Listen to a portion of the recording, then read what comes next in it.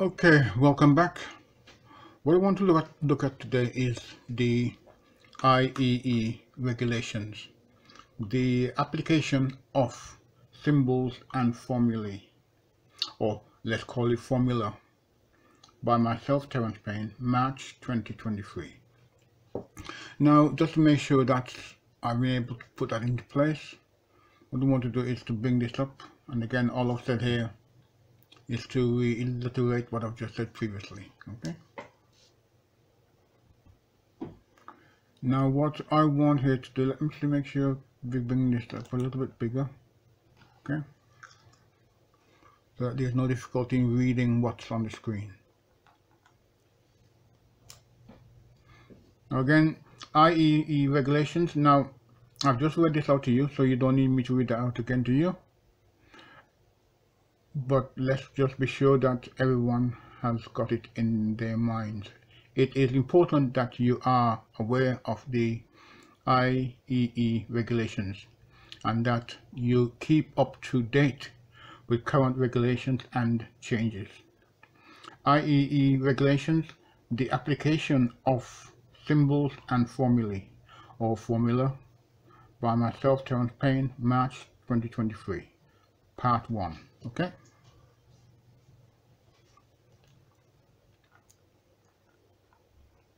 Now one thing I want to be able to do is to make sure everyone can read this without straining their eyes. Okay? So what I'm going to do, I've made it extra large.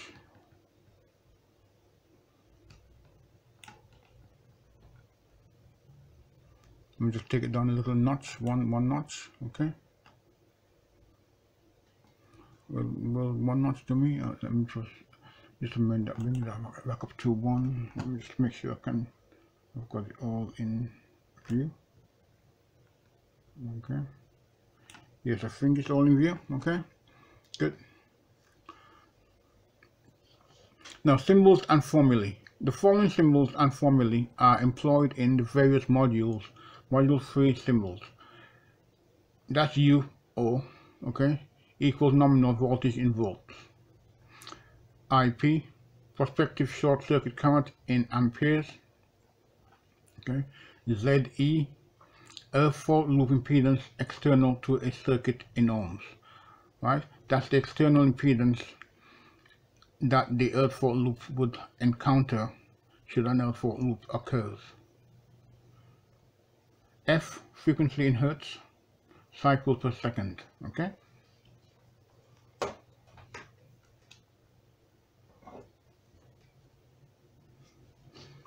now module 5 now ignore the modules in this case okay? Because they're not relevant. It's only to give us a guide as to what section we're dealing with at a given point in time okay?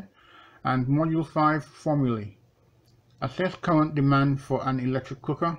The first 10 amps of total rated current of cooker plus 40% of the remainder of the total rated current plus 5 amps. If a socket outlet is incorporated in the control unit. Assess current demand equals 10 amps plus 30% of the remainder plus 5 amps.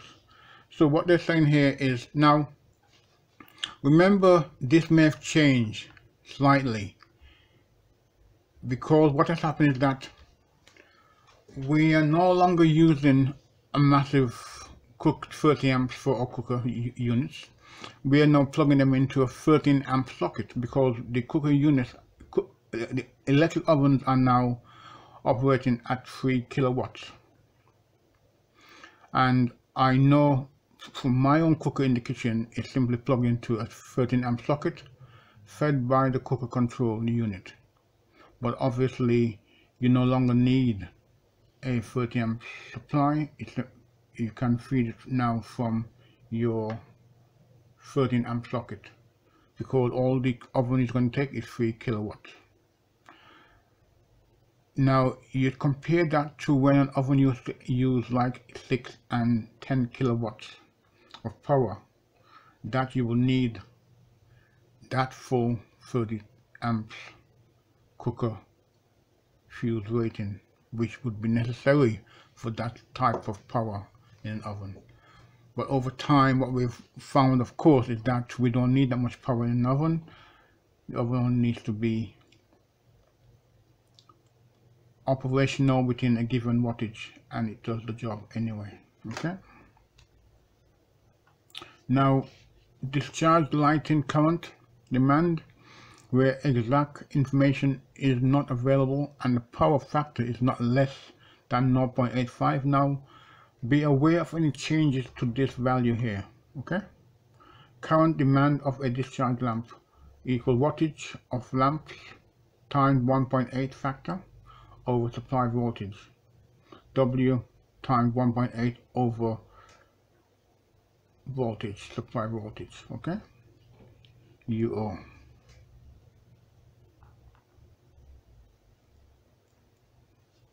now module 6 and again this module is only just for reference only. It does not apply to any particular or specific unit okay? It is purely for reference only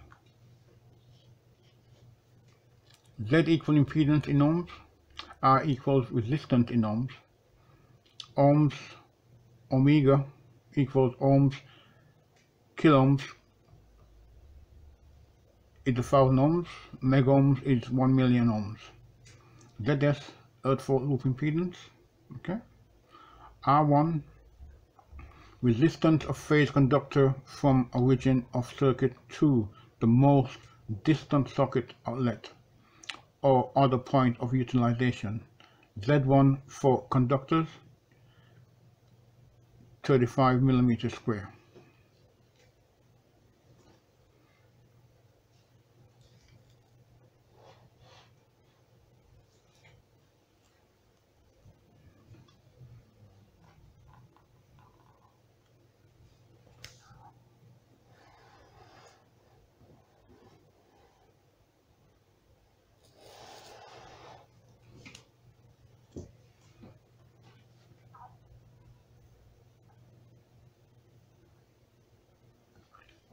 Now R2 resistance of protective conductor from origin of circuit to the most distant socket outlet or other point of utilization. Z2 for conductors 35 millimeter square less than okay symbol means less than equal to or less than okay greater than greater than equal to or greater than okay that's what that symbol means okay so look at the symbols that is what we're talking about okay?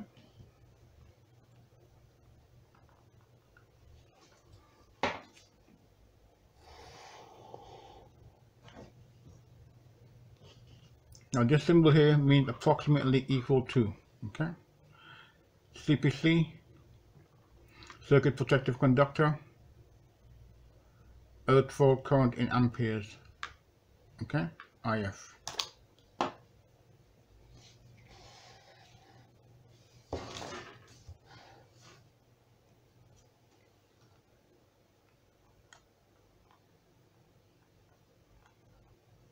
okay let me just um, adjust this to bring this back in, into view.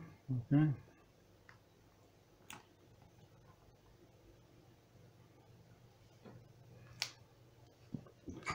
Pardon me. Now module 6 continue again point of reference formulae. Excuse me. Zs equals ze plus r1 plus r2 if equals supply voltage over ZS. Okay.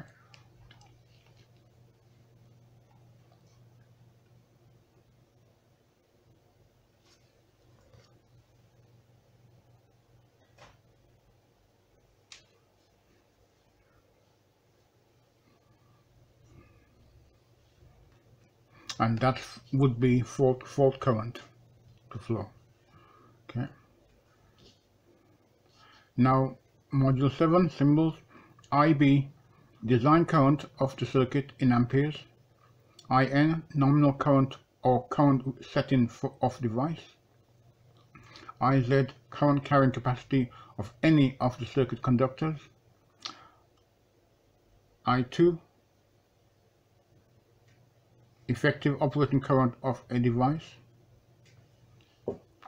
I2 now it's interesting here. Hmm.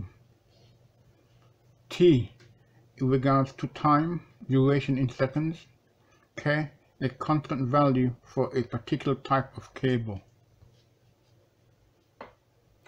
Okay, now you will find these factors given in your specification for cabling. Okay, so keep that in mind and be aware of that. S cross-sectional area CSA of conductors in millimeter square. I effective short circuit current in amperes. Okay.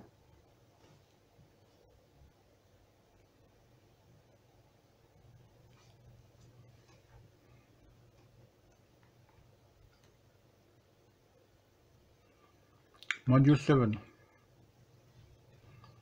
Prospective short circuit current IP IP equals V voltage over Z total plus Z1 plus Z2 okay? Where V equals source of voltage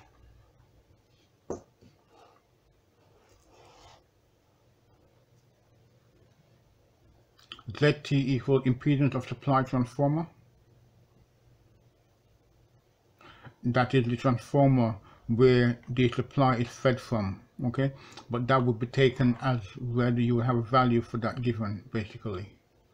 Z1 z2 equal conductor impedances okay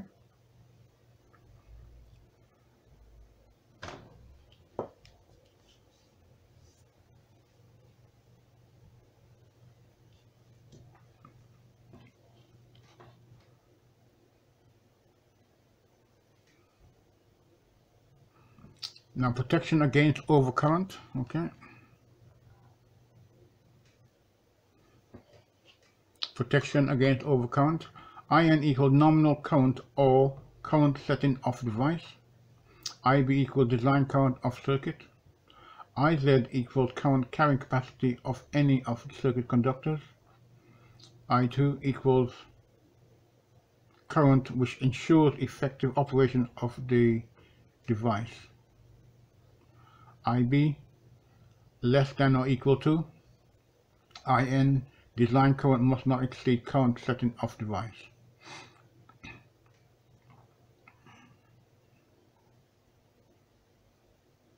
That means that your design current must match the device you're going to use to protect your cables. Okay? IN, IZ, IE example, current setting of device must not exceed the lowest conductor rating. So the conductor rating, the conductor must be able to handle current that it may have to carry in a short circuit duration over a given period of time. Okay.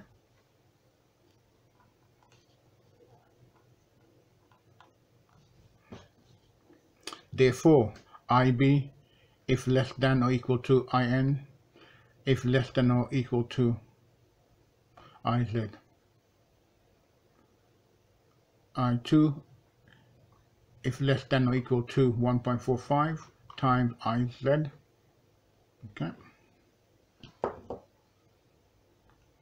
Now you'll find that these will crop up in your calculations and somewhere along the lines I'm going to be doing calculations using these information but at this point in time I only need you to, you to know and have the information to hand so you can use it as a point of reference for your own edification okay the following divided if the conditions in expression A are satisfied, then the conditions in expression B will also be satisfied. HBC, high break capacity fuse to BS8888, cartridge fuse to BS1361, circuit breakers to BS3871. Now be aware the standards of these may change as we get different type of circuit breakers on the, coming onto the market over duration of time. Okay, so look keep your eyes open and make yourself familiar with that knowledge and information. It is vital that you are kept up to date and keep yourself up to date with current regulations and information.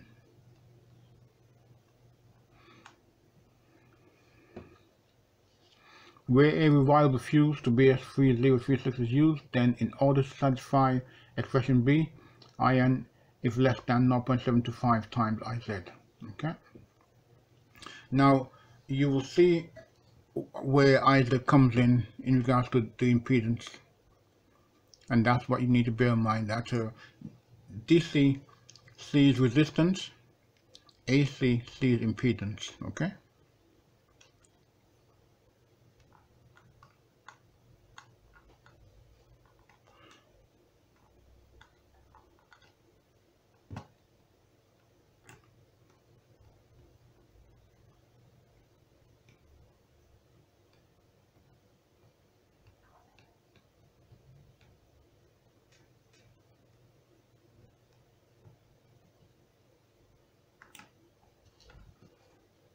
Okay.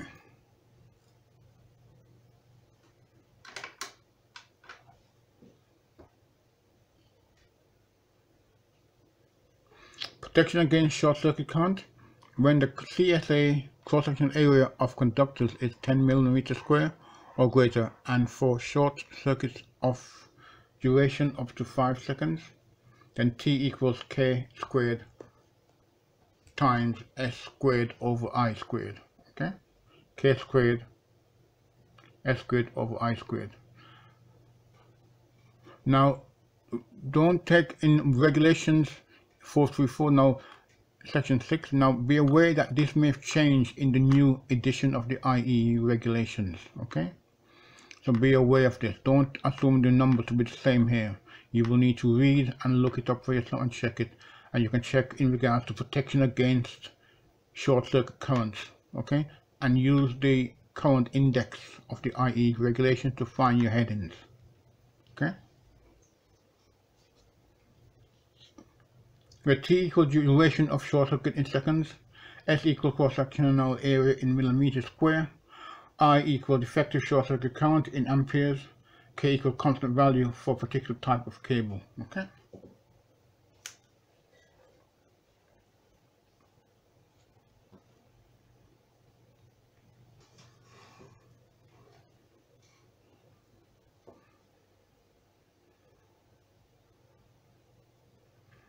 Okay.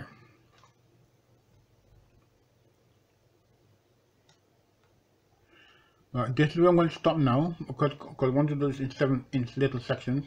Module 8 symbols millivolts amps per meter, millivolts per ampere per meter. Yes, okay, that's what I've just said. But we're going to stop there for now. Let me just go back make sure that we got it all in view for you. And we'll pick it up in part 2, okay?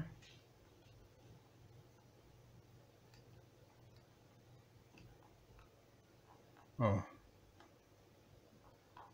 Right, thank you. I won't go back because each one will be different. Okay. So we'll pick it up from section 8 next time. Okay. Right, thank you for your time. Have a good day. Bye bye for, for now.